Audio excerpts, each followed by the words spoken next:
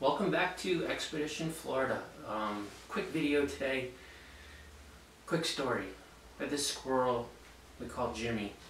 Shows up on our back deck a little, you know, kind of often. So we like watching Jimmie.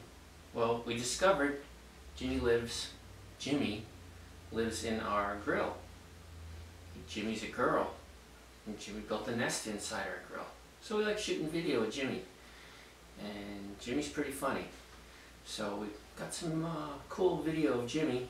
And these sandhill cranes came to visit when I was in my garage, so I fed them. And I love baby sandhill cranes because they're fluffy and cute. So check this out.